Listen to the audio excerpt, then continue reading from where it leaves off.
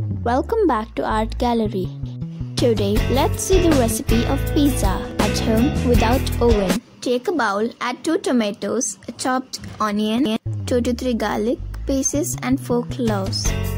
Boil it and take the peel of the tomatoes. Now grind this mixture and make a soft paste. Add little water if necessary.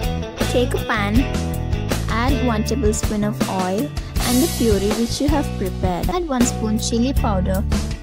Add salt to taste. Add 1 tablespoon of tomato sauce. We have prepared this tomato sauce at home itself.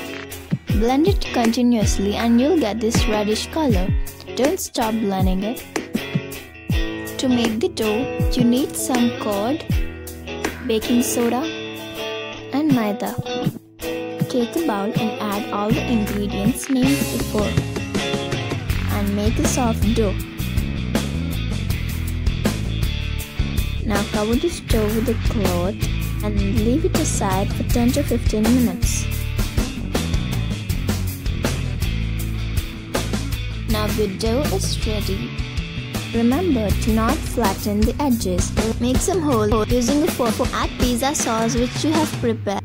Mozzarella cheese and add the toppings you wish.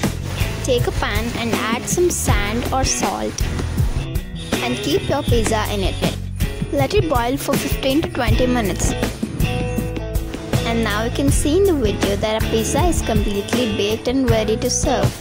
It is so yummy. You have to try this recipe. Thank you for watching. Please like the video, share and please subscribe to this channel.